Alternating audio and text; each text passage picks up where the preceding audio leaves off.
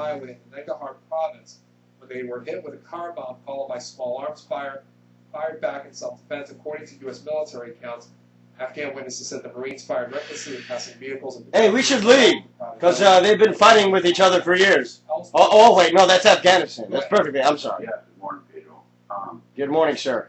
this bill got passed, Yeah. the, um, my son, Yes. okay. You can call it fourth, you can call it anything you want, but they could pass a Katrina bill, they could pass a Walter Reed bill anytime. It would go through, uh, children's, uh, uh, healthcare, that would go through. But they dare, they're daring the president to veto this bill, it's just politics.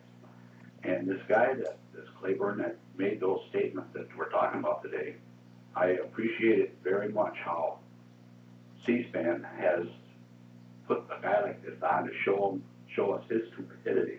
He is uh, way out left field on this. I can't believe a guy like that could be in a in the house. and Pedro, you're doing a very good job today of pushing the buttons for the Republicans. Thank you.